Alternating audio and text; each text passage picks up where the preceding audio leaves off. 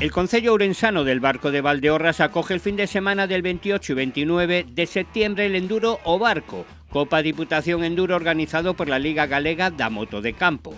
Después del parón veraniego, de nuevo las motos y riders se pondrán en marcha en un fin de semana de mucha acción en la comarca pizarrera.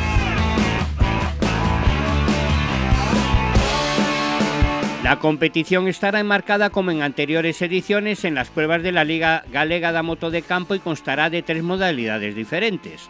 En la jornada del sábado, la carrera ya habitual para los más pequeños, una modalidad infantil que cada vez está ganando más participantes.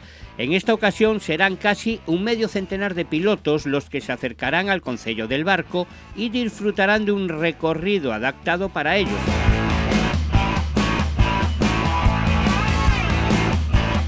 El domingo, con una jornada de más de 5 horas por delante, será el turno de las especiales más técnicas y complicadas destinadas para los riders de las otras categorías, pasando hasta 5 veces por alguna de ellas.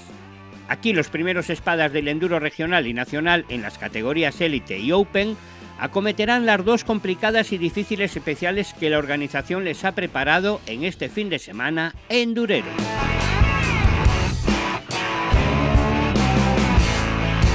Prueba prueba, el mejor enduro del país se afianza cada día más. Prueba de ello son casi los 200 inscritos de esta prueba y es que aparte de disfrutar del deporte, los participantes disfrutarán de unos parajes y zonas muy recomendables, además de la gastronomía de la provincia de Ourense, casi tocando Castilla-León.